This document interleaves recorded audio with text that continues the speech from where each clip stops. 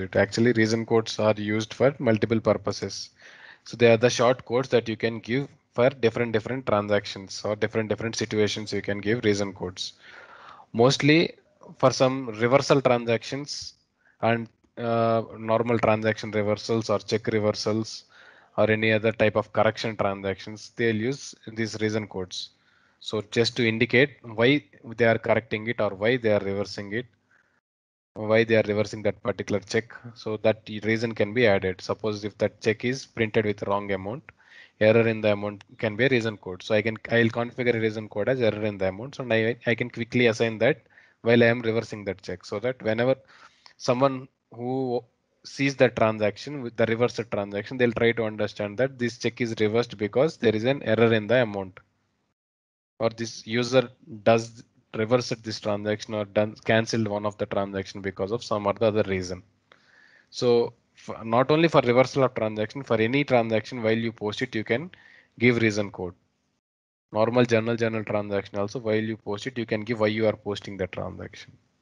You can give how many ever reason codes you want and you can use those reason codes for different different purposes. And you can assign them to different transactions where in lot of places you can give reason codes. Okay, so first let us see how we can configure the reason codes. So in order to use them, we have to configure, right? So let's see them. So I'm in general ledger. Actually, reason codes are unique for every module, but through general ledger, you can create reason codes for all the modules. There are two set two things in general ledger. So I'll show you that.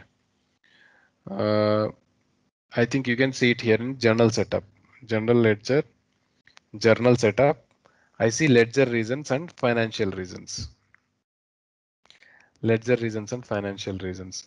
Ledger reasons are confined to only general ledger module, which means if I create a reason code here, it is only used in general ledger module.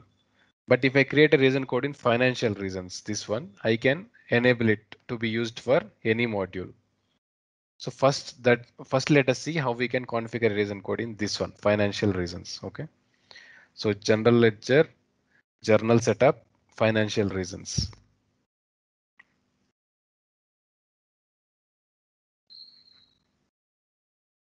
General ledger, journal setup and financial reasons. So I'm clicking on financial reasons. So it's an empty form here. I can create a new reason code. So I clicked on new. I can give a reason code. I can give reason code number 01. So default comment I can give it as the same that we discussed about error in amount. OK, I I can enable this for ledger as well as for fixed assets module. Bank means cash and bank management module. Customer means accounts receivable module. Vendor means accounts payable module. So customer reason, vendor reason, bank reason, and asset reason. You can give it as. There are certain situations where fix uh, reason code is mandatory for posting some transaction. Suppose for check reversal, you can enable a parameter that uh, whenever some user is reversing a check or reversing a deposit slip, they should definitely give a reason code. So without giving appropriate reason code, system will not allow them to reverse that particular check or deposit slip. The same way, while you reverse any other transactions, you can give a mandatory reason code or you can give such kind of conditional parameters. So such that users cannot reverse them normally. They have to give an appropriate reason why they are reversing such transactions for tracking purpose they they will be useful okay here in financial reasons i told you right whenever i can I create a reason code i can use it in different modules so in the under financials i created right in general ledger i can use if i enable this tick mark i can use the same reason code in bank cash and bank management also if i enable this tick mark i can use this same in accounts payable and accounts receivable and fixed assets if I enable all the tick marks. So within general ledger only I can create reason codes for all the modules. Again, in all the modules, I'll separately have reason codes. I'll show you that too. Suppose if I go to cash and bank management. So where it is, I'm searching for it. So here it is cash and bank management. Under cash and bank management, I can see bank reasons. See here.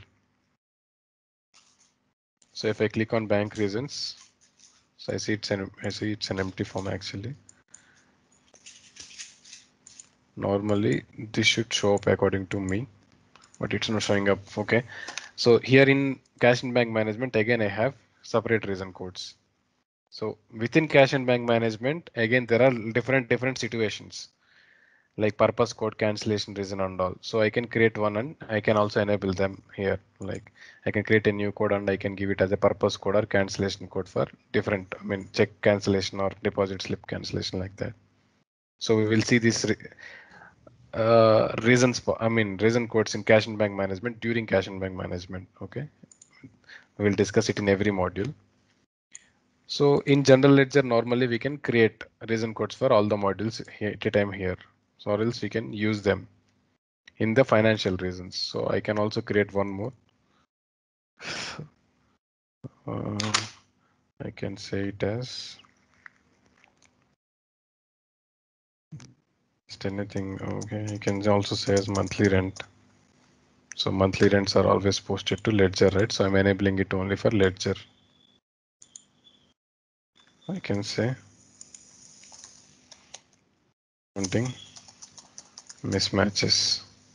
It's for some adjustment journals we used to post, right? Accounting mismatches, adjustments. So I'll just create one reason code. So I'll create here in ledger only for ledger.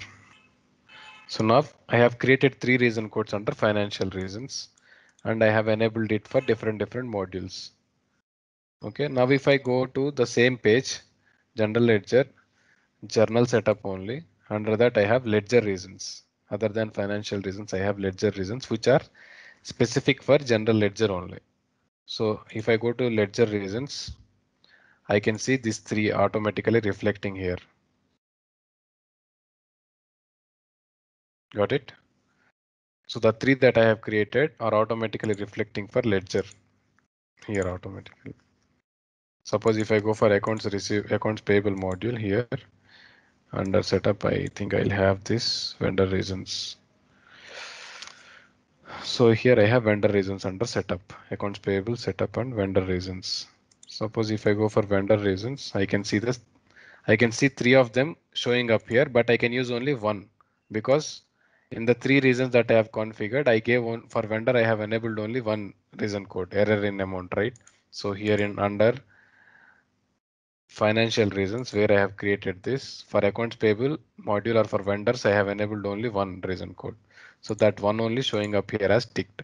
Remaining is also showing up, but they are not ticked means they cannot be used. If you tick them also here, you can also use them in accounts payable as well. Suppose if I click this month at accounts accounting mismatches adjustment and I refresh this here also if I refresh this see here this accounting mismatch adjustment is also enabled now for vendor automatically. So you can either do it here from general ledger for all the modules or you can individually do that in different different modules. So that's the concept of reason code. I mean that's how you can configure reason codes.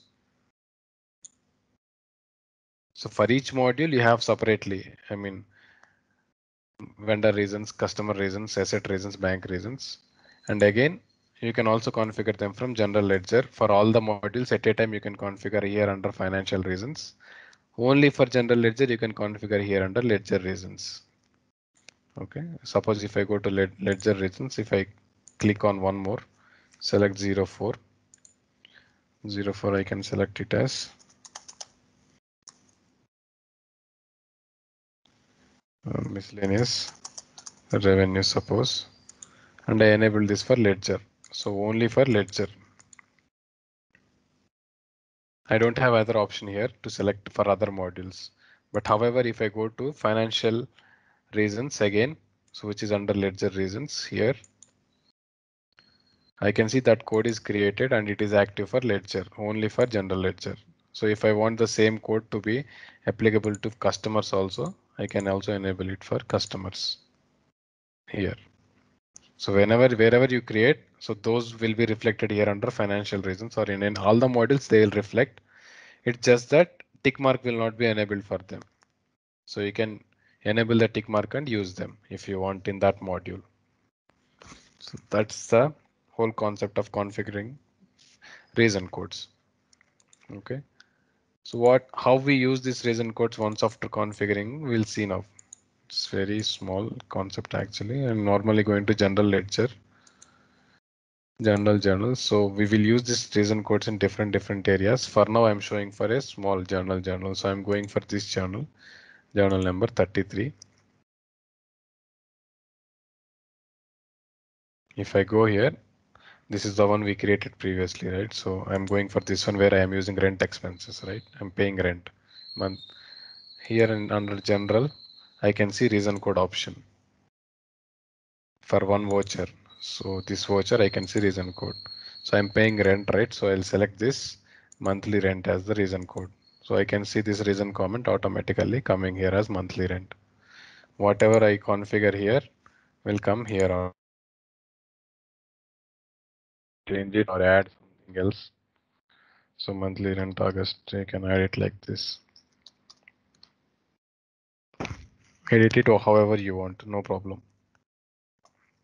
Okay, that's one part of how you can use reason codes. You can also make this field as a compulsory field. Sometimes there is a feature for making uh, a, any field as a compulsory field. So whenever they create a journal, they have to mandatorily give a reason code. It will show that field in red box. So there is a feature called designate a field as mandatory something. Yeah, actually that is, I think that is the feature. If I enable that feature and if I come the, to this place and right click and keep it as a compulsory field, then it will work. Someday I'll show you in a different environment. I mean, that's a small trick but yeah, this is optional here for now. Um, giving a reason code for a journal is optional. So we have given for this voucher, right? Voucher number 26. Again, I'll click on voucher number 25 here. So for voucher number 25 also, I can give another reason code. So it's empty here. I can select one of the reason code. I mean, I don't find any relevant reason code here. If you don't find any reason code, you can give a comment or any other comment yes expenses. August. Or anything you can give. Power bill. Kind of reason anything. Without reason code so reason codes are some unique numbers that you can give. You can give numbers or you can you also give alphabets or alphanumeric. Anything you can give. So i'm just using this kind of number sequence I mean pattern that's all So that's a very small concept case and we will use reason codes going further for reversals for cancellations. Don't worry.